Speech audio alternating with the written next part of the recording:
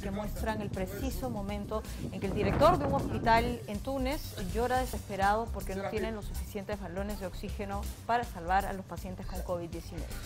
Y encima el camión que los entrega no llegaba al nosocomio. De eso depende la vida de los pacientes, por lo que se ve la desesperación y la angustia de los profesionales de salud, que es realmente indescriptible. ¿no? Así eh, se deben sentir también muchos de nuestros médicos peruanos, ¿no?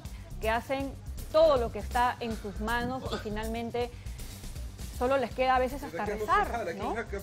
La pandemia ha mostrado el, lado más humano de los médicos frente a un sistema frágil, a un sistema que está haciendo el máximo esfuerzo por intentar contender al COVID-19.